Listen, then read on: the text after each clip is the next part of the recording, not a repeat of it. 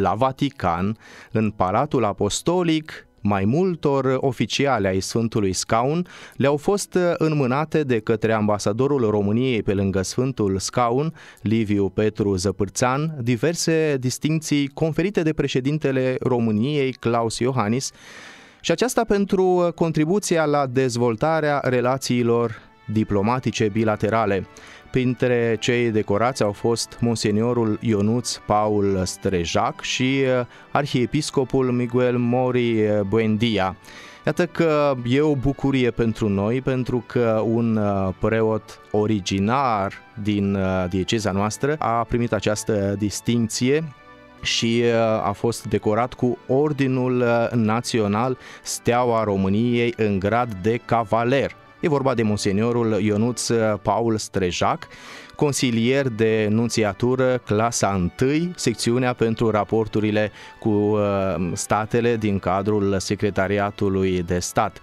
Să știți că acest uh, ordin uh, național, Steaua României, este cea mai înaltă decorație a României, fiind instituit pentru a recompensa serviciile excepționale civile și militare aduse statului și poporului român. Este cel mai vechi ordin național, avându-și originile în perioada domnitorului Alexandru Ioan Cuza, când a fost creat Ordinul Unirii. Și uh, domnitorul s-a gândit încă din 1859 să creeze un ordin național românesc, având ca model legiunea de onoare instituită în Franța de către Napoleon I. Acest ordin Ordin a servit drept model pentru prima distinție oficială acordată de statul român independent, Ordinul Național Steaua României, instituit de domnitorul Carol I pe data de 10 mai 1877 după proclamarea independenței. Ordinul Național Steaua României se conferă prin decret de către președintele României și acest ordin național, Steaua României, poate avea uh, maximum 3650 de membri, grupați în 6 grade, cu uh, însemne diferite pentru civil, militar și uh, de război. În ordine crescătoare, cele 6 grade sunt cavaler, ofițer, comandor, mare ofițer, mare cruce, colan. Membrii ordinului sunt numiți pe viață și, indiferent de gradul primit, ei poartă titlul generic de cavaler al Ordinului Național Steaua României și, bineînțeles, beneficiază și de onorurile militare acordate ofițerilor armatei române. Dragi prieteni, după această lungă introducere, pentru că e o cinste deosebită, a fost oferită monseniorului Ionuț Paul Strejac. Îl avem alături de noi tocmai pe monseniorul Ionuț pe care îl salut. Hristos a înviat! Adevărat a înviat și un salut uh, tuturor uh, radioascultătorilor RCS, RCS FM.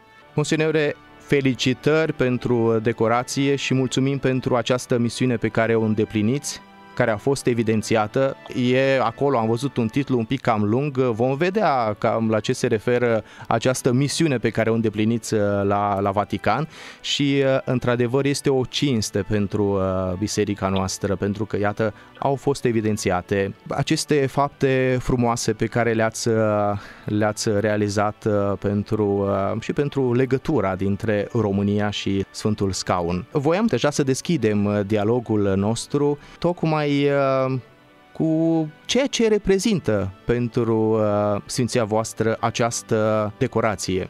Uh, mulțumesc. Da, este, este într-adevăr o, o bucurie, este uh, această, această decorație primită de la, de la președintele țării, de la președintele României, este o cinste nu doar pentru, nu doar pentru mine, dar, uh, cum bine spuneați, pentru biserica românească, pentru comunitatea catolică din, uh, din România, pentru că noi suntem uh, practic moștenitorii a ceea ce am primit, a ceea ce s-a sădit în, în noi de-a lungul, de-a lungul anilor. Și um, cred că, din acest punct de vedere, este un moment de bucurie pentru întreaga biserică.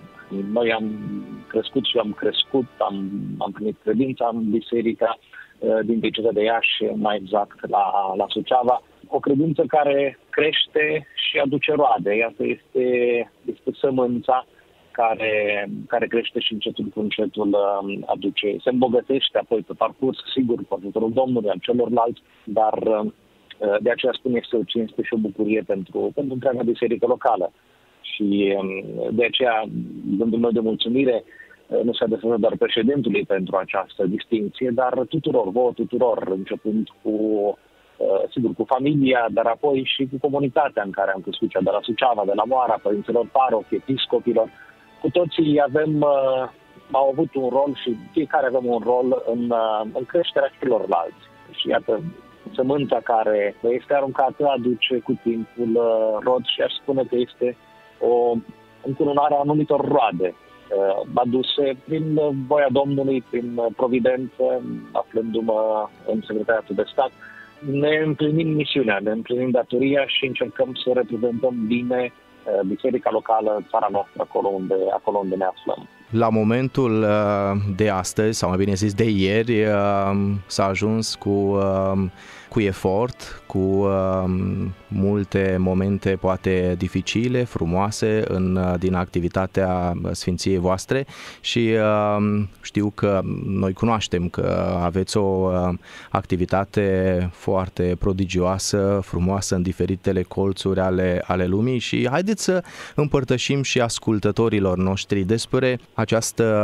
misiune pe care o îndepliniți, nu? Sunteți în diplomația Vaticanului și vorbiți-ne un pic despre experiența avută până acum. Spuneam de, de ideea aceasta a, a, săm, a săminței, sămânța care se aruncă și apoi crește, se maturizează, uh, se îmbogățește de-a lungul, de-a lungul anilor cu diferite, cu diferite experiențe. Uh, aș putea spune că s-au copt uh, anumite roade la, la soarele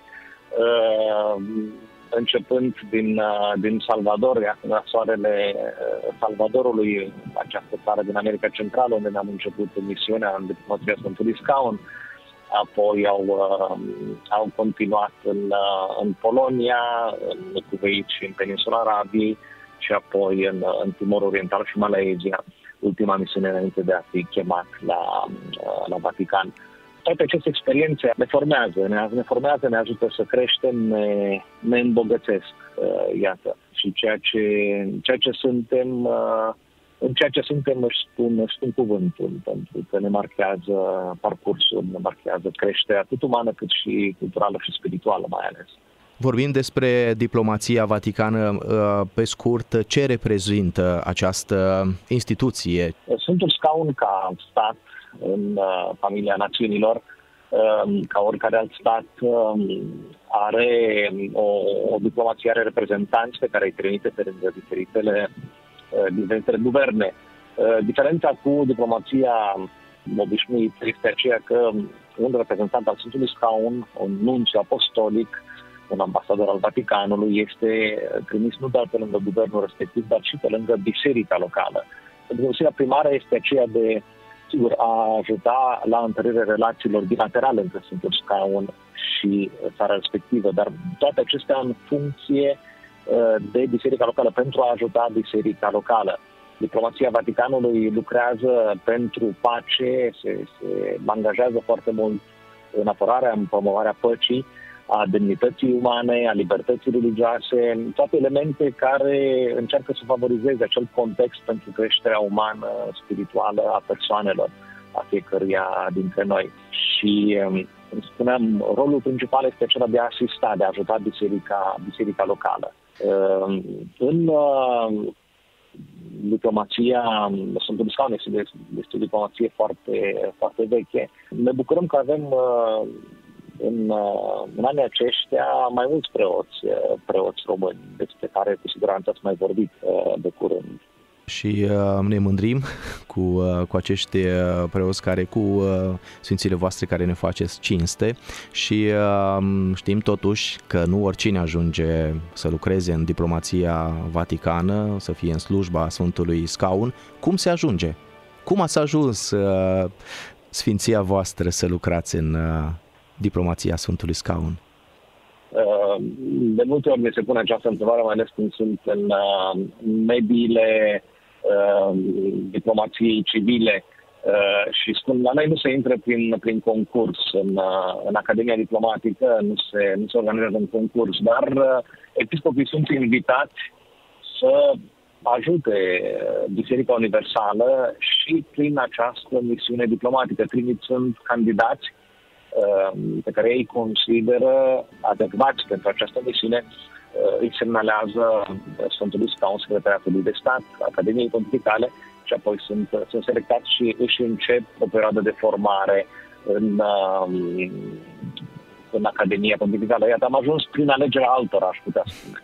Văzând experiența aceasta bogată pe care o aveți și deja puteți să trageți sau să faceți o concluzie la toți acești ani, care cu siguranță misiunea continuă și uh, vom vedea ce se va întâmpla și cum va fi și peste uh, ani și ani, dar până acum, trăgând așa o linie, văzând din experiență, uh, ce calități trebuie să aibă un diplomat al Sfântului Scaun care îl ajută, care va, calități care v-au ajutat și pe simția voastră în această perioadă?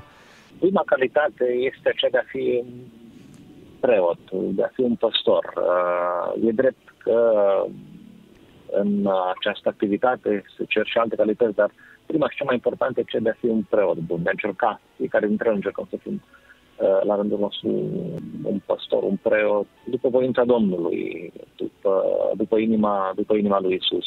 Și uh, iată, prima calitate și cea mai importantă aș spune că de a fi un preot autentic, un preot bun. Uh, lumea are nevoie de, de mărturii, de exemple uh, și mai ales lumea diplomatică, a autorităților în care de multe ori avem, uh, cu care intrăm în contact și cu care lucrăm, au nevoie de această mărturie a unor oameni al lui Dumnezeu, a unor preoți dedicați se spune că este cea mai bună diplomație din, din lume. E așa? Cam cum vedeți diplomația Vaticanului? Unii, sigur, mai au și alte și alte nume sau uh, referiri despre această diplomație. Așa, așa spune tradiția, așa, așa merge vorba, cum se spune la noi, nu? Că ar fi, ar fi cea mai, de cele mai bune diplomații, cea, cea a Sfântului Scaun. Este și o, o tradiție, este o istorie întreagă în spate, dar uh, am putea spune că ceea ce o face o diplomație autentică este căutarea nu altor interese, dar aceea de a promova persoana umană, de a ajuta. Sfântul Scaun nu are, nu are alte interese decât acela de a, de a ajuta și atunci având și oameni pregătiți, uh, lucrul acesta este, este important și probabil a făcut să, să ne meargă vestea în țară, cum, cum se spune, că am fi cea mai, uh, cea mai bună diplomație. Uh, diplomație cu istorie, cu, sigur, cu suișuri, cu coborâșuri, Uh, dar uh, cred că majoritatea um, colegilor sunt uh, angajați cu sinceritate și toată inima în această, în această slujire, în această slujire importantă. Și acest lucru este remarcat și de, de ceilalți diplomați, de ceilalți ambasadori.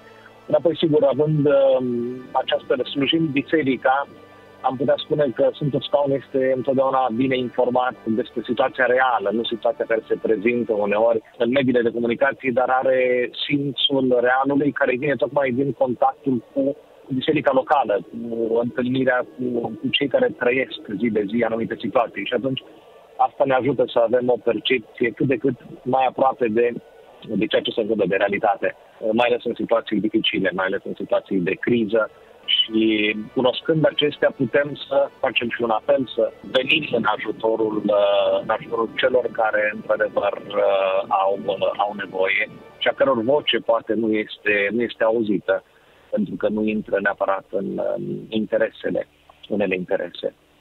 Da, uh, mosionere, eu când uh, am prezentat uh, această distinție pe care ați primit-o, uh, am atașat uh, și uh, această misiune pe care o împliniți, consilier de enunțiatură, clasa 1, secțiunea pentru raporturile cu state din cadrul Secretariatului de Stat. E un nume așa de lung uh, și poate unii nu înțeleg uh, ce reprezintă această funcție pe care o uh, îndepliniți la Vatican. Um, în Secretariatul de Stat um, sunt trei departamente, am putea spune așa. Um, Departamentul pentru Afacerile Generale, cel pentru relațiile cu statele și pentru personalul diplomatic. Departamentul pentru relațiile cu statele este un fel de minister de externe. deci se ocupă cu contactele cu guvernele și urmărește situația politică. Se ocupă, am putea spune, de politică. Uh, și uh, fiecare oficial al uh, acestei, acestui departament se ocupă de o anumită zonă a, a globului, are urmărește anumite țări, se ocupă de anumită regiune. În câteva cuvinte, pentru a înțelege poate mai bine această instituție a Secretariatului de Stat. Ne apropiem uh, de finalul uh, dialogului nostru și am vrea um, să vă mulțumim, bineînțeles, pentru uh, aceste clipe pe care ni le-ați oferit. M-ați găsit timp și pentru RCS FM. Vă mulțumim mult și știm că ne sunteți alături. Un gând pentru ascultătorii RCS FM? Sigur, eu vă mulțumesc pentru, pentru ocazia de a iată, de a avea o convorbire frumoasă, interesantă și în același timp de a mulțumi tuturor. Spuneam că fiecare are o misiune și încercăm să, să o împlinim, aruncăm sămânța, primim sămânța, aruncăm sămânța, uh, ajutăm să crească și iată, sunt momente când ne bucurăm de anumite roade, de anumite, de anumite recunoașteri. Un gând de, de mulțumire tuturor ascultătorilor și în același timp un gând de o invitație a ne angaja pentru că nu știm niciodată binele pe care îl facem, sămânța pe care îl aruncăm, ce roade poate să aducă. Și în același timp fiind uh, în apropierea Duminicii Bunului Păstor, un gând de mulțumire tuturor preoților care se angajează de multe ori în, uh, fără a apărea pe, în mass media, fără a, a fi neapărat uh, în, uh, pe ecran, în, în văzut tuturor, dar care duc o muncă atât de importantă, atât de fundamentală, aș putea spune, pentru întărirea credinței, pentru creșterea comunităților noastre și a țării noastre. Și iată un gând final, un, cu urarea Hristos a înviat și aceea de a fi martori ai, uh, ai întâlnirii cu Hristos cel înviat, a fi martori ai bucuriei învierii, pentru a începe mereu de la capăt cu bucurie și cu ajutorul Duhului Sfânt. Monsignore, mulțumim. Mulțumim frumos pentru uh, aceste gânduri pe care le-ați uh, împărtășit uh, cu noi și cu ascultătorii RCSFM. Vă dorim mult succes în misiunea deloc ușoară pe care o aveți de împlinit și vă așteptăm cu drag și în alte momente la RCSFM. Mulțumesc foarte mult, succes în importanta activitate pe care o desfășurați. Hristos a înviat. Adevărat a înviat.